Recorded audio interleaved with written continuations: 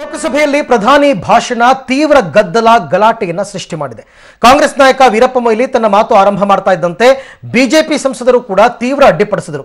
ಬಂದ್ ಕರೋ ಬಂದ್ ಕರೋ ಎನ್ನುವ ಮೂಲಕ ಕಾಂಗ್ರೆಸ್ನವರು ಪ್ರಧಾನಿಗೆ ಅಪಮಾನ ಮಾಡಿದ್ದಾರೆ ಅಂತ ಆಕ್ರೋಶ ವ್ಯಕ್ತಪಡಿಸಿದರು. ಕಾಂಗ್ರೆಸ್ನ ಯಾವುದೇ ನಾಯಕರಿಗೆ ಮಾತನಾಡೋದಕ್ಕೆ ಅವಕಾಶ ಕೊಡಲ್ಲ ಅಂತ ಹೇಳಿದರು. ಗದ್ದಲ ಗಲಾಟೆ ನಡುವೆನೂ ಮಾತು ಮುಂದುವರಿಸಿದ ವೀರಪ್ಪ ಮೊಯ್ಲಿ ಅನಂತಕುಮಾರ್ ವ್ಯಕ್ತಿತ್ವವನ್ನ ಭಸ್ಮಾಸುರನಿಗೆ ಹೋಲಿಸಿದರು. ತನ್ನ ಕೈಯನ್ನ ತನ್ನ ತಲೆ ಮೇಲೆ ಇಟ್ಕೊಂಡೇ ಹೋಗ್ತಾರೆ ಅಂತ ವ್ಯಂಗ್ಯವಾಡಿದರು. Congress people, especially under the leadership of Srimati Sonia Gandhi, should be ashamed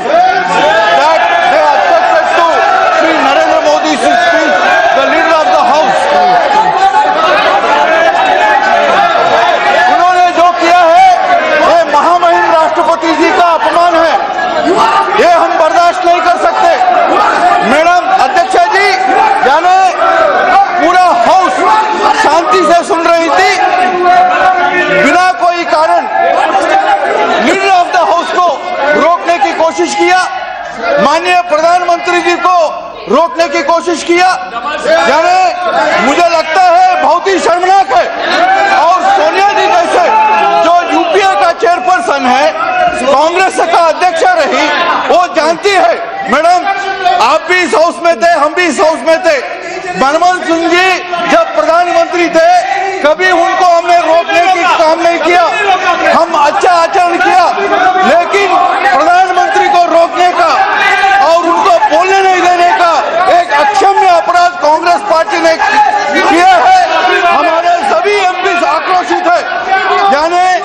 संसदीय लोकतंत्र आदान प्रदान से चलता है। यदि वो हमें सुनेंगे, यहाँ के हमारे सांसद उनको सुनेंगे। यदि वो हमको नहीं सुनेंगे behaviour of this honourable member you know reminds me of the story of Bhasmasura who want to put their put their respective hands on them and burn themselves even before 2019 election I don't them if there is a God. So, Madam Speaker, you know, I don't know whether the finance minister sitting here would like to get this budget passed or not, or he would like to go away without any debate. This is, he has to make it very clear. It is the duty of the government to cooperate to run the business of the house.